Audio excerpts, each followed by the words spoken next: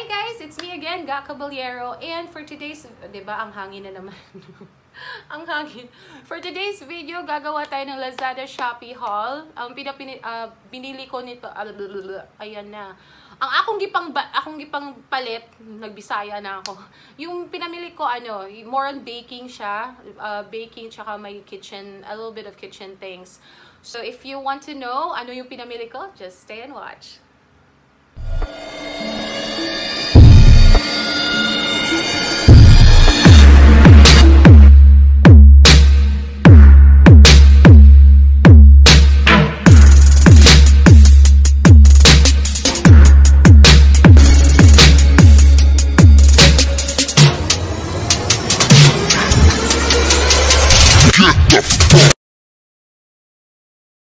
So, ang pinamili ko ay first, gusto, ginamit ko na siya. Actually, ginamit ko na siya pero nilagay ko pa din siya sa box.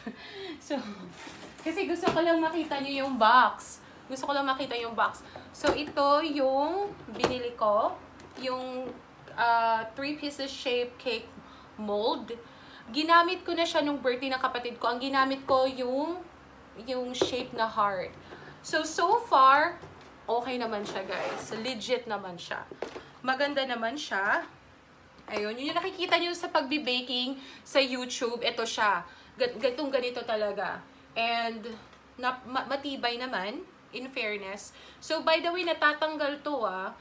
Kasi mostly sa, ano, kapag nagumagawa ka sa, gumagawa ka ng cake, natatanggal siya dahil, syempre, hindi hindi ka na masistress na 'di ba alam niyo 'yon, nilalagay nila ng oil minsan dito para makuha nila agad yung um, binibake nila. And this one, eto, kinukuha na lang nila. O, ba diba? Natatanggal siya. So, yung cake mo, andito lang. Tapos, malinis siya tignan. Kukunin mo lang to, nandito na yung cake. O, ba diba? So, ito, tatlo siya. May circle. Circle. Circle. May circle. May heart Tsaka may square. Uh, diba? So, ang price niya, okay naman siya. Yung price, it's, it's worth, diba? Ang ingay. Sorry. Uh, okay naman yung, okay naman yung price niya. I think the price, okay. So, yung price niya, guys, napakamura lang. Sa tatlong um, molder ng cake, it's only 399 plus the shipping. Oh, syempre, plus the shipping is like around 100 ata, 120 or something like that. So, okay na okay na siya. Tatlo na siya, guys. At napaka, napaka, napakaganda niya. Legit na legit siya. So, anyway, kung gusto niyo bumili nito, I'm gonna put the link below para doon na lang kayo mag, ano, para sure, sure talaga yung purchase nyo. Hindi yung tipong nasasayang yung pera natin, ba diba? So, next, diba, ang ganda. Masaya ako dito. Maganda. Um, Next, uh, the next item is Tadan! Ito! Oh my God!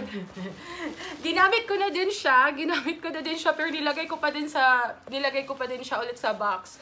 Kasi gusto kong makita yung package, packaging nila. Maganda yung packaging nila guys kasi uh, before ko inopen ito, meron siyang ganito. Okay naman siya. And I'm gonna say, ang ganda ng quality nito. This is a knife set pinost ko na to sa Facebook. And maraming nag uh, maraming nag-message sa akin. They're asking kung saan ko nabili and um, ano yung ano yung quality niya and everything. So it's a knife set, guys. First ipapakita, oh, 'di ba nahulog siya. Anyway, kukunin ko 'yung mamaya. May may ano siya, tadtaran in Bisaya. tadtaran. Oh, ang ganda ng tadtaran niya. Hindi ko alam yung Tagalog ng tadtaran eh. Pero kapag yun, yun sinachop, dito nyo sinachop. Ang, I'm not sure if nakikita nyo yung color niya, but it's um, powdered pink. Yeah, it's powdered pink. And, also, may tatlo siyang knife. May butcher's knife siya.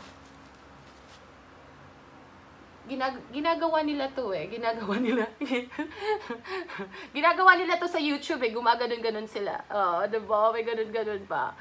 Ang ganda niya at yes, very matalim. Grabe makahiwa guys. Very beautiful. And if you, ikaw, kung, kung gusto yung mga girly-girly things, ito, sa kitchen, ay my God. Swak na swak to talaga. Ang ganda niya, promise. Walang char. Maganda siya, promise. Tapos yung isa, yung knife. Yung regular knife lang. Ito yung regular knife. Oh, same lang din. Oh, may ganun ganun.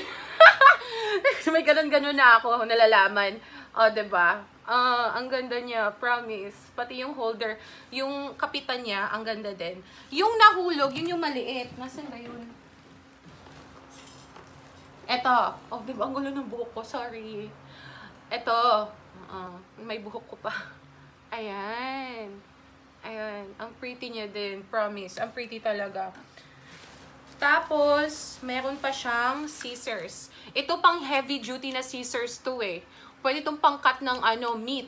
Talagang napaka ano niya. Color pink din siya. Ang, ang, ang, ang laki. Malaki, malaki siya. Malaki scissors. Tapos, lastly, meron siyang peeler. Yung regular peeler lang. Pero na-try ko na din siya. Okay naman yung peeler niya. Yung price niya, it is, let's see price niya, same price, it's 399 but worth it. Worth it yung price niya. Sa mga, you know, girls na girly-girly yung mga stuff nila sa kitchen, ito talaga, very, very good. Very good, um, very good buy ko. Favorite ko din siya. And, next is this one. Cake stand. Uh, ito yung, ginamit ko na din siya sa kapatid, nung birthday ng kapatid ko, nilagay ko yung cake dito, tapos may pa-candle-candle pa ako nalalaman.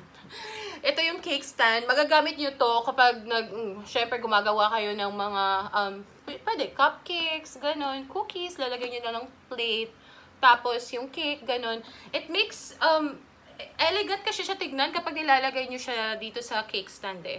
Tapos kapag naglalagay kayo ng mga, yung mga, mga toppings sa cake, um, it's easy for you to do it kasi it's easy for you to do it. it's easy for you to do it kasi nakaangat na siya. So it's kana kanang okay na siya mag mag-decorate sa cake. And ituyok-tuyok na lang nimo siya. Yes. Oh, nagbisaya na ako.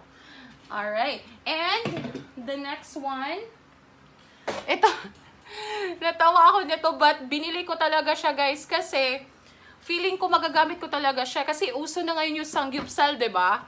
So binili ko Bumili ako ng ano, yung butane, butane set, pero tignan niyo yung butane set ko. 'Di ba normally yung butane color black 'yun, black or red or something like that. But napaka-pretty ng butane ko. But butane, ano ba to? Stove pala, hindi butane. yung butane yung ano, gas. Tignan nyo. Ah, diba? Ang pretty. It's color yellow. Light yellow. Anong color? Ang ganda niya. Ang gan... Oh my God. It's so pretty, guys. Kaya gustong gusto, kaya gusto kong pumili nito eh. Kasi dahil sa color niya. And I think, um, normal price niya sa, kapag yung regular black lang, na nakikita ko sa mall, parang 500 or 600 ata yun, yung normal lang. Ito is kind of bit pricey. It's 1,000 something. Ilalagay ko yung price tsaka link sa baba. Um, it's kind of bit pricey, but al cute naman siya. And may safety, may safety note, may ano sila dito eh. May manual nakalagay. Tsaka, ay isa pa pala. Kaya medyo mahal siya kasi may free siyang butane. And ano, anong kulay ng butane? Di ba lalagyan ng butane? Ang papangit ang lalagyan ng butane. Color black ata din. Pero tignan nyo, may apat akong free na butane. Ah! Ang cute! O, diba? Hindi ko pa siya nagagamit. Kasi I was planning to do like a sangyupsal um, with my brother sa by the beach. Kasi nakatira ako sa mala malapit sa my beach dito eh. So, yun yung iniisip ko. And nagagamit to sa picnic kung, you know, umaalis kayo ng mga friends nyo. Yung travel-travel, nagagamit nyo to. So, yeah, I think this is a very good deal plus butane na siya, eh. butane plus ito, 1,000 something lang, okay na din siya. Kasi nagagamit siya kung saan-saan. At nagaga and nagagamit ko din siya dito kapag um, gagawa ako ng kung anong-anong DIY sa pagbibake or or magluluto ako kung, kung ano-anong lulutuin ko. and next is this is my very very favorite kasi ang ganda ng color niya and very classy. Um, ginagamit din to sa baking. Uh, not only baking, but cooking. Look at this one, guys. the measuring cup. Pero, rose gold siya. Metallic, uh, I mean, metallic. rose gold siya. May apat siyang, ano ng cups. Ayun. And then, may, may spoons din siya. Teaspoons. Oh, ba diba? May one table teaspoon. They have one half teaspoon. So, apat din. And, ang, ang medyo compare sa plastic, pricey talaga siya kasi rose gold siya and metal. And al sa in my own experience, mas maganda talaga metal, guys, kasi hindi siya dumidikit. Yung kapag 'di ba nagaganon ka, yung for example, yung flour, ginaganyan mo. Kapag plastic kasi dumidikit siya. And I tried this one, it's just, you know, pag ganun ko, na, nakukuha niya lahat.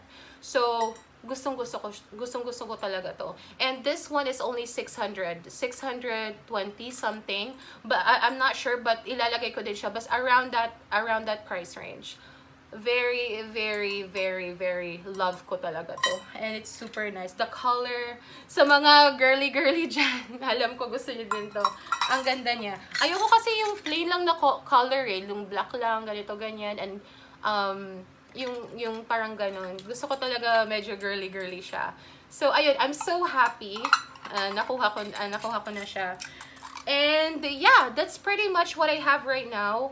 Meron pang dadating sana, pero ang tagal, alam niyo naman kasi may quarantine. So, siguro, um, mag-review din ako doon, ay, ipopost ko din siya if maganda ba yung quality ng products and everything. So, yun lang, yun, yun lang. So, if you're planning to buy, like, or magbe-bake ka, yun, yung molder, okay yun. Tsaka, yung nalagyan ng cake, kailangan mo din yun. Tapos, eto, eto, kailangan mo din to. Sa pagluluto din, hindi lang naman sa baking eh. Sa pagluluto din, kailangan mo din to eh. So, yeah, pretty much, I'm so happy with my purchase sa Lazada and, oh yeah, sa Lazada and Shopee. Kasi ito sa Shopee to eh sa yung iba sa um, Lazada. So I'm very happy and let me know if may questions kayo sa product. And yes, I'm gonna put the link and the prices below sa kung gusto nyong bumili, doon na lang kayo. At least for sure, okay yung product. You, you know, uh, alam mo yun. Kasi sometimes kapag bumibili tayo online, what you see is what you will not, uh, what you see is not what you're gonna get. At sala, sayang naman yung pera. So, you need to like check the reviews talaga. Kasi, alam mo yun, bum, bum, nagbayad ka, naghintay ka, tas ganun, ganun yung makukuha mo.